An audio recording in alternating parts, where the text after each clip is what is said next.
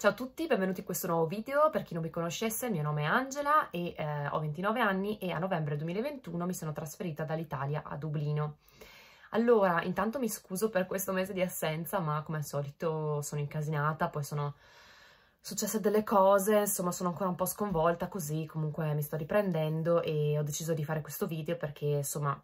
sono stata assente per un po' e volevo eh, rimettermi su YouTube perché è una cosa che mi piace, mi appassiona, mi appaga e insomma mh, mm, vedo che qualcuno è interessato a guardare i, i miei video e quindi eccomi qua. Allora anche oggi video chiacchiere perché eh, non ho tempo di andare a fare i giretti e in più ultimamente eh, secondo me sto sperimentando il vero tempo irlandese, cioè proprio pioggia tutti i giorni, eh, umidità, eh, insomma tempo un po' così da, da, stare a letto e guardare Netflix. E, e quindi vabbè vi cuccate il, lo sfondo di camera mia. Tra l'altro il letto è vuoto non perché dormo sul materasso così eh, come i matti ma perché eh, sto facendo la lavatrice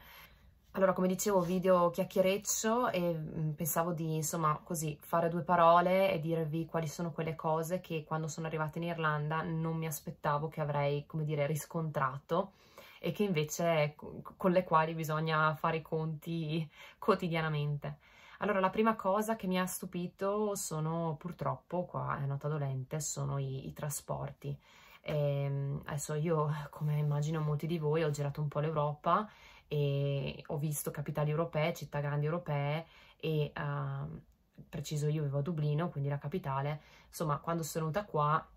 mi aspettavo di trovare eh, un sistema di trasporti all'altezza di una capitale, non è così, non è così, eh, secondo me a Dublino c'è ancora tanto lavoro da fare, la città non ha una metropolitana, si parla da tempo di fare sta, sto Metrolink, ma mh, mm, a quanto pare questo progetto qua o è un naufragato, comunque se ne riparlerà tra, tra un decennio, e eh, ci si muove soprattutto con l'autobus, oppure c'è anche una linea tranviaria, due linee tranviarie e una linea di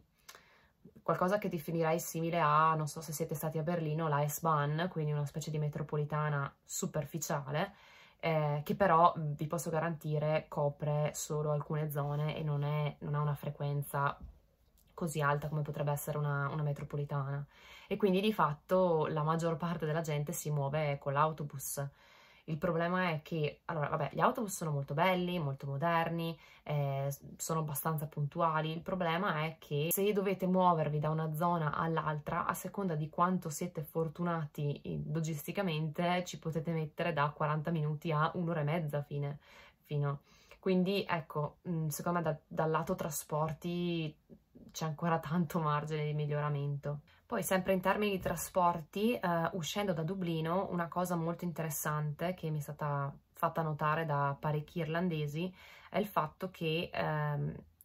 una volta l'Irlanda aveva una rete ferroviaria parecchio capillare, stiamo parlando dell'epoca del dominio inglese. Dopo l'indipendenza, quindi da 100 anni a questa parte, nel corso degli anni il governo ha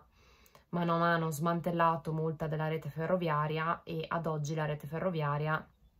è circa un terzo di quella che era cento anni fa. Eh, magari vi, vi, metto le, le foto per, per, farvi capire.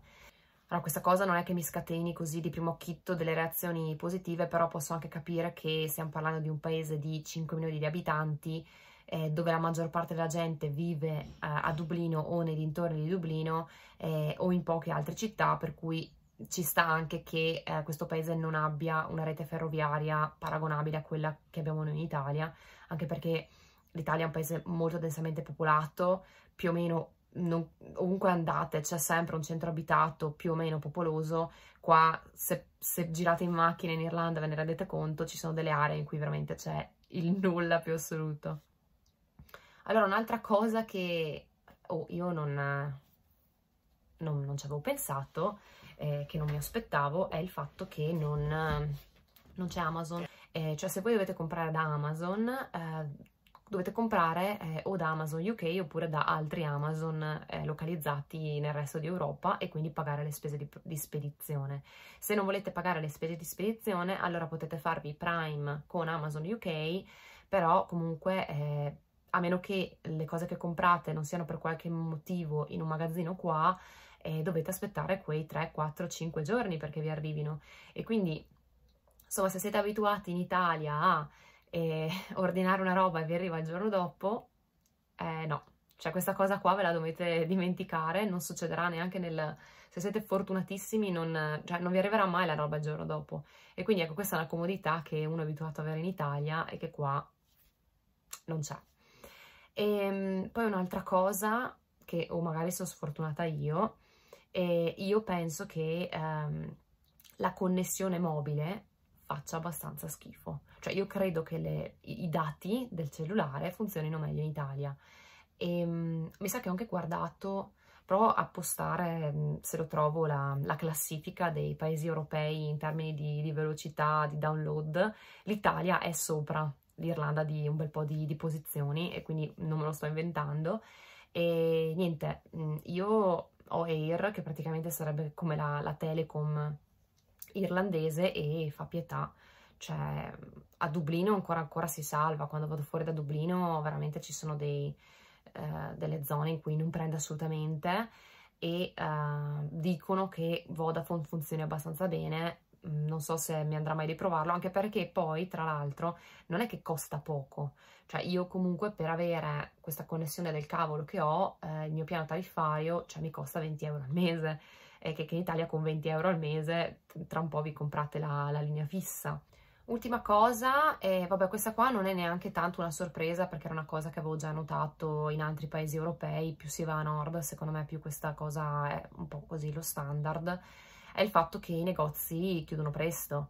Mettete che le grandi catene tipo Primark così, uh, se andate in centro li, li trovate aperti anche fino alle 8, però generalmente i negozi alle 5 e mezza, massimo 6 chiudono. E um, addirittura anche i centri commerciali, questa cosa a me mi ha stupito perché in Italia funziona il contrario, il centro commerciale che c'è qua vicino dove abito io e durante la settimana chiude alle 7, però durante il weekend chiude, no scusate, durante la settimana chiude alle 8 se non sbaglio e durante il weekend chiude alle 7, che penso in Italia non si è mai visto un centro commerciale in una capitale che chiude alle 7. Insomma, questo video era così eh, una chiacchiera con voi, giusto per raccontarvi uh, il mio punto di vista e per avvertirvi che um, insomma c'è un po' il mito dell'Irlanda e io tra parentesi sono contentissima di essere in Irlanda, mi trovo bene, ci, penso che ci rimarrò ancora per un bel po', però ecco stiamo parlando di un paese piccolo, è un decimo dell'Italia e stiamo parlando di un paese che è cresciuto molto recentemente, che fino a 30 anni fa si basava soprattutto sull'allevamento e quindi certe comodità eh, di un paese che è sempre stato più o meno industrializzato e che ha una alta densità di popolazione, eh, non le avete o le avete molto più ridimensionate.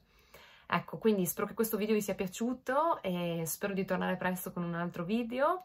e vi auguro un buon inizio settimana. Ciao!